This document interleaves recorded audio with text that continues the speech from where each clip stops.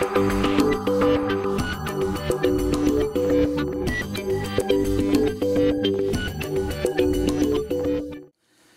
everybody, I'm back again and we're going to get through my P's if it's the last thing I do. it won't be the last thing I do, but yeah. Start off with Pacific Rim. Got this last Black Friday 2013, Black Friday 2013 for about 8 bucks. And damn good deal because Pacific Rim is freaking awesome. And yes, it has the nice uh, lenticular cover. So yeah. Next up, Pandorum. Got it from Target for four bucks a while back. Great movie, great sci-fi, love it. I don't know what else to say about it, it I didn't at first. I didn't know. I didn't really like it, but then I watched it again and I had more of an appreciation for it. And yeah, Pandorum. Next up, Paranormal Activity One. Wait for it. Wait for it. Paranormal Activity 2. Wait, wait, wait. 3. And, mm, just with the lenticular cover, Paranormal Activity, the marked ones.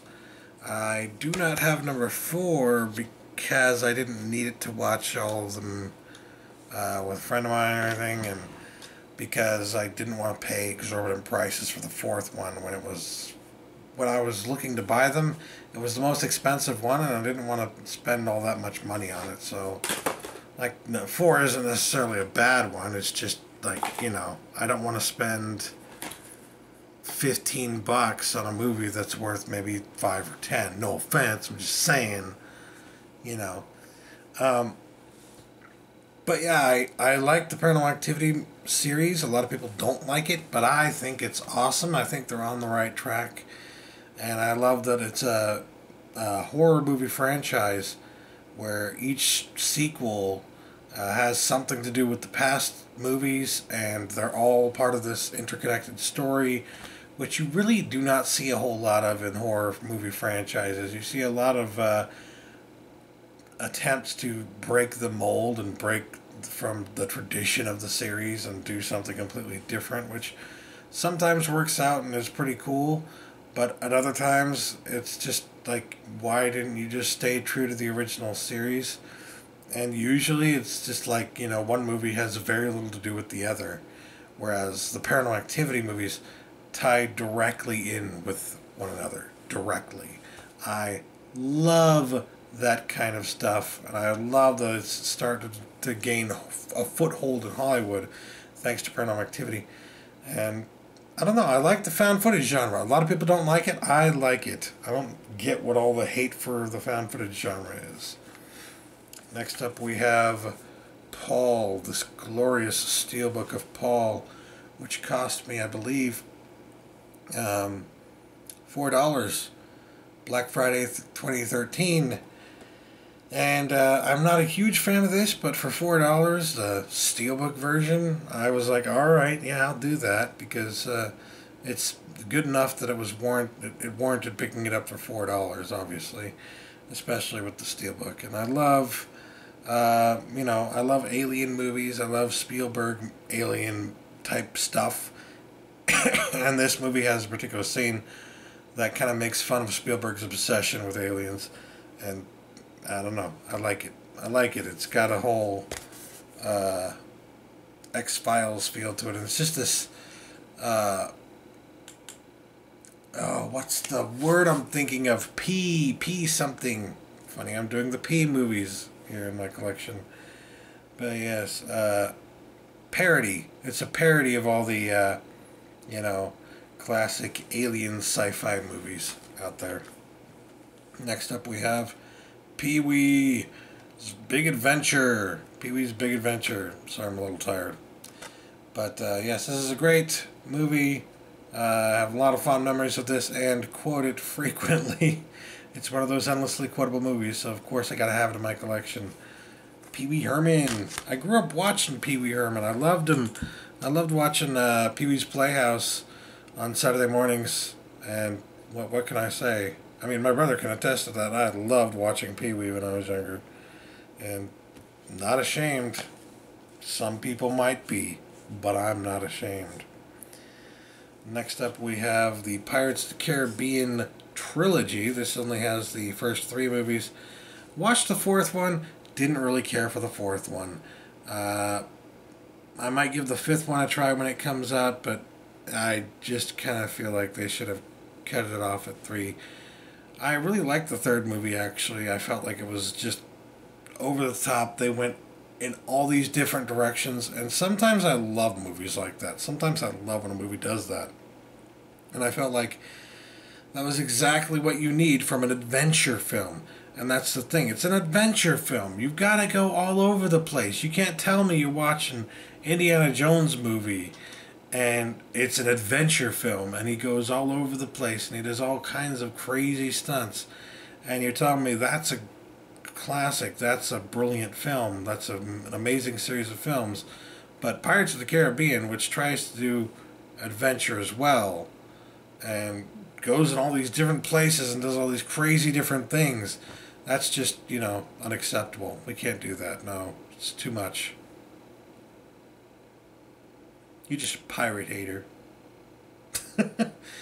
I know. Um, I feel like this is a, one of Johnny Depp's greatest roles, and uh, yeah, fantastic movie, fantastic uh, so, uh, score, uh, and great adventure series. I like adventure movies, so I was really surprised when they did those too because I, uh, you know, growing up I didn't know that much about Pirates of the Caribbean. I had, I did go on. I remember going on the uh, ride at Disneyland in the '90s uh, once. The original, I believe it was the original uh, Pirates of the Caribbean ride. So I kind of cherished that memory a little bit. But um, yeah, uh, I've I didn't really know much about Pirates of the Caribbean or anything like that, or, or pirates at all. So when they said they were going to make a movie series out of it, I just I didn't think it was going to be very good. I didn't know what it was going to be about. It didn't. Eh. It didn't appeal to me immediately, but then I actually saw the movies and I liked them. What can I say? Next up, we have Planes, Trains, and Automobiles with what I can confirm to be a just terrible transfer. But I also only paid $4.88 for it, so I can't complain too much. I have, as you know from the DVD collection overview, I have the DVD version of this. But for 488 I couldn't pass up the Blu-ray. Just like, well, there, I have it in high definition. um, next up we have Planet of the Planet of the Apes.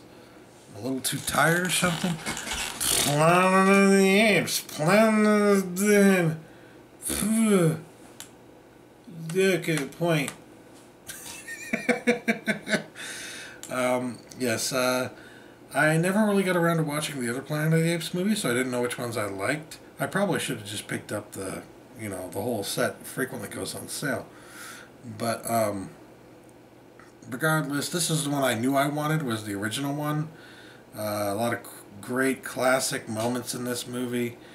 Uh, absolutely love it, and I'm fall I'm falling in love with all the uh, the new Planet of the Apes movies coming out. So yeah, Planet of the Apes, Planet of the Apes, Planet, Planet, Planet, Apes.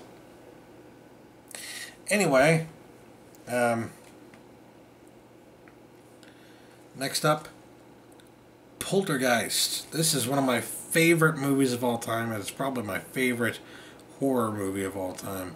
Uh, it is exactly what I look for from a horror slash thriller movie, and um, yeah, because uh, this was originally when it came out PG. Of course, it was during that time when PG was a lot harder of a P, of a rating, like a lot more hard hitting than you know it is now. You know, you could expect to find a movie with a few cuss words or whatever in it at a PG rating.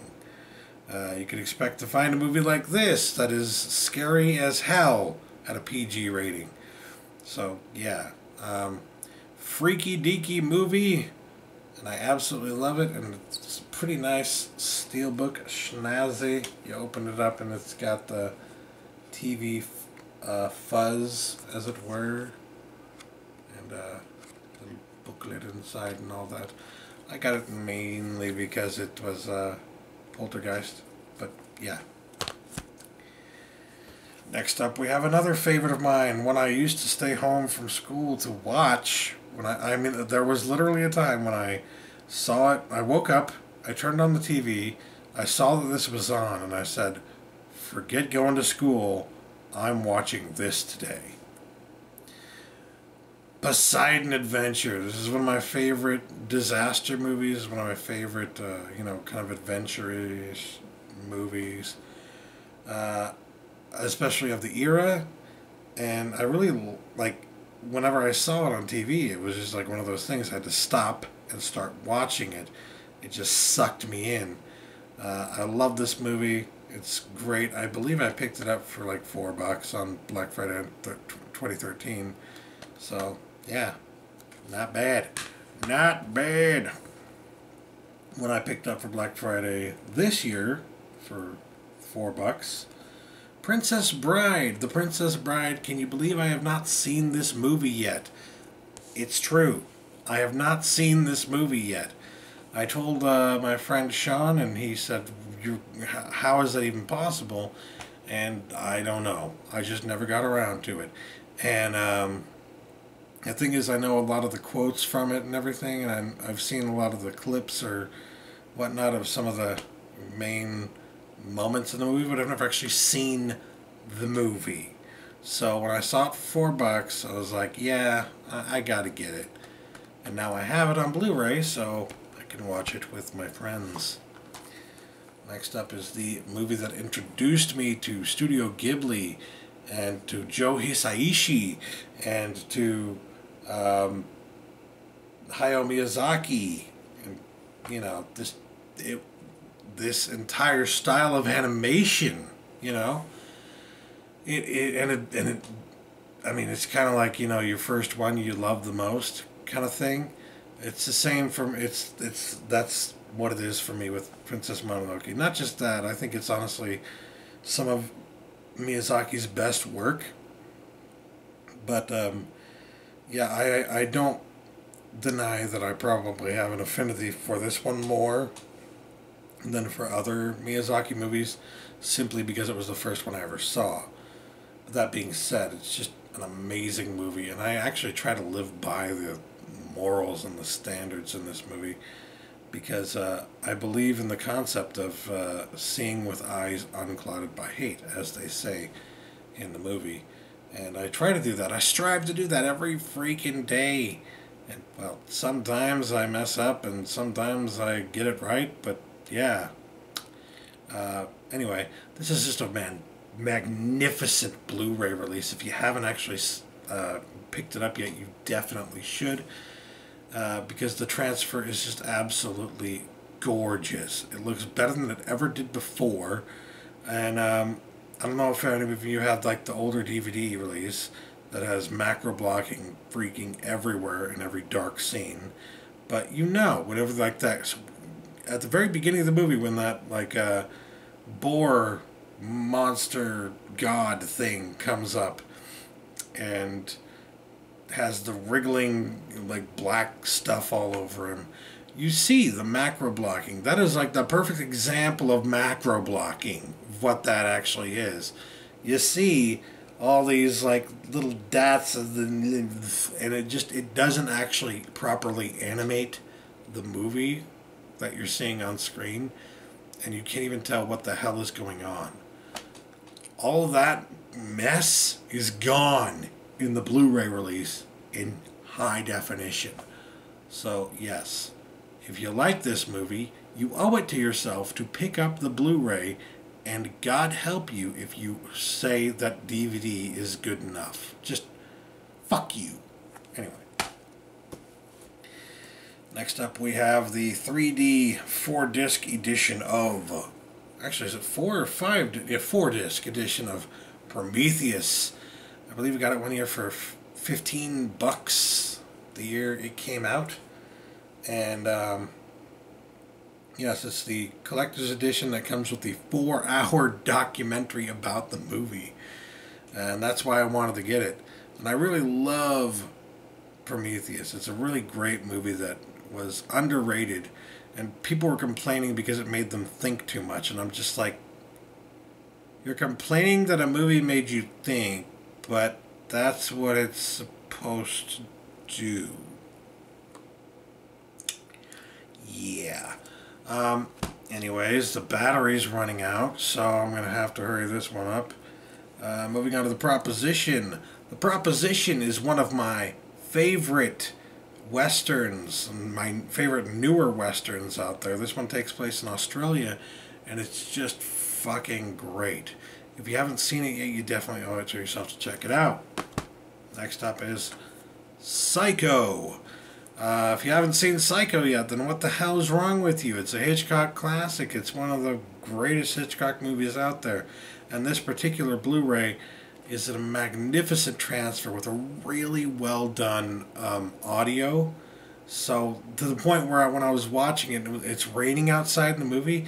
The rain literally sounded like it was all around me. It literally sounded like it was actually real rain. So, like, yeah, the sound mix on this one is freaking fantastic, which is great for a horror movie. Pulp Fiction.